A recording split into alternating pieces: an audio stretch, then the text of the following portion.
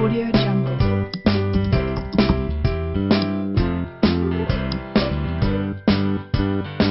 Audio Jungle.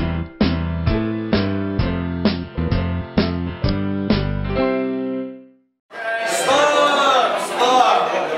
Bạn như thổi tay cho nó đây Xoay qua bên cạnh chia sẻ bạn thật là tuyệt vời à, Bây giờ bắt đầu mình mới chia sẻ bạn một chút xíu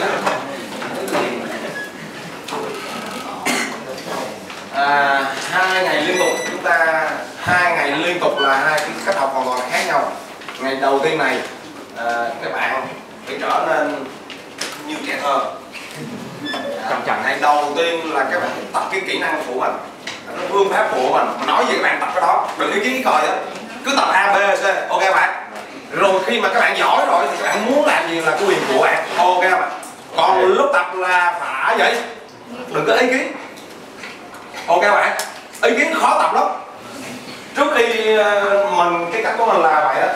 Thường thường có những bạn mà chưa biết ra kinh doanh cái gì đó tới gọi mình tư vấn mình nói mình nói nghe làm theo. Còn nếu mình nói cãi bao giờ mình chỉ đó. Ok nó mấy người đó họ đi lâu lâu lắm. Rồi cái lúc mình làm được, mình làm giỏi thì mình tự làm theo cách của mình. Ok bạn. Nó là ngày đầu tiên cái cách học chúng ta là nói gì làm đó. Cứ tập vậy á, tập theo moment vậy á. Mà bắt đầu ngày thứ hai ok bạn bắt đầu khi mà các bạn đã nhuyễn rồi thì bắt đầu mình bắt đầu mới ứng dụng cái đó vào trong kinh doanh nó như thế nè. Dĩ nhiên ngày thứ đầu tiên bạn chưa làm những cái đó mình không có nói ứng dụng vô kinh doanh như thế nào đó. ok bạn cứ tập đi. Cứ làm đúng vậy đi. Ngày hôm sau bắt đầu nhuyễn rồi bắt đầu mình nói ứng dụng nó vào như thế nào. Nó, nó có những cái bí mật ở phía sau? Các bạn có sẵn sàng vậy không? Sẵn sàng. Ok vô vô, vô thẳng lên vô thẳng lên. Xin mời người đây là thật là tuyệt vời bây giờ mình nói cái phương pháp chút xíu phương pháp đào tạo cũ. Và phương pháp đào tạo mới. Phương pháp đào tạo cũ thì có lẽ mình nghĩ là ở đây anh cũng đã từng trải qua. Mình cũng đã từng trải trải qua. Tức là chúng ta lên nhà trường chúng ta ngồi. Ok không ạ và ông thầy áo ông có ảo không gì ông nói. Ok bạn ông nói rồi chúng ta về. Học một cái gì đó được bèo nó cũng phải mất ba tháng có. Thậm chí mất đến bốn. Bốn năm năm để ra biết một cái gì đó có có, có phải không? Nó vô cùng lâu và nó vô cùng dài có phải như vậy không? À, cái phương pháp đào tạo cũ. Tổng là bà bạn nó theo nó là như vậy. Khi bạn vào một cái chương trình gì đó bạn muốn học một cái gì đó ví dụ bạn muốn học kế toán đi. Bây giờ mình đang phân tích nguyên lý để sau này các bạn nắm được cái nguyên lý này các bạn ra ngoài các bạn phạm dụng ví dụ các bạn đi học cái toán có đi nghĩa là các bạn thiếu kiến thức về cái toán đó. Mình mới đi học chứ mình có, mình đi học chứ ok không? À vậy thì bạn vào lớp cái toán, tức là bây giờ mình hình dung cái kiến thức về cái toán như một cái bình dưới á.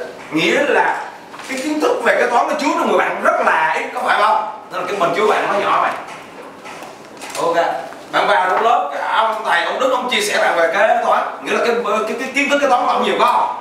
Nghĩa là cái bình chứa của ông nó tức là cái tình bình chứa ông về kế toán nó nó nó, nó bận lắm. Ok mà mà bản chất kiến thức thật sự là thông tin có phải vậy không? Chúng ta đi học nghĩa là chúng ta đang tiêu hóa cái thông tin đó như nó có có, các phải không? Để chúng ta hiểu ra cái thông tin đó để về chúng ta ứng, ứng, ứng, dụng. Có có phải không các bạn? Thì cái phương pháp đào tạo cũ á là bạn này là một cái bình chứa về lĩnh vực đó rất là thấp. À, ông thầy giáo là cái bình chứa thông tin ông nó rất là bự. Sao ông nói như thế nào? Ông như thế nào phải không và bắt đầu ông đó ông rót thông tin qua. Ok. Ông rót một lúc thì sao? À, những ngày đầu mà bạn mới đi học cái môn gì đó bạn háo hức không? Học được ba bữa mới bắt đầu nó ngán ngán không phải không? một lúc nào đó bắt đầu nó nó vậy nó tài luôn nó ngán không nó ngán rồi cứ bắt đầu nó nó nó, nó vậy? Ê, nó tràn ra không. Cái mấy ngày sau bạn có xu hướng là bạn không muốn học không? Học. Là đi trễ không? Rồi học xong rồi là về để đó luôn và mãi mãi không bao giờ đọc đọc lại lần thứ hai có có có bạn. Chúng ta chia sẻ với người bên bên cạnh về cái trải nghiệm học cái thời xưa. Để, để, để, thấy nó kinh khủng như thế nè. Là dài lên